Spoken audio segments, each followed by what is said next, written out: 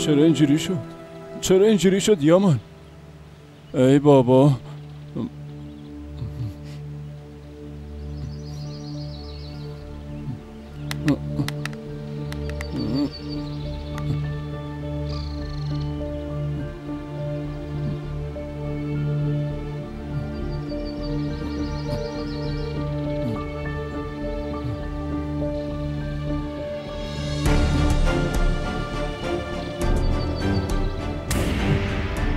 God.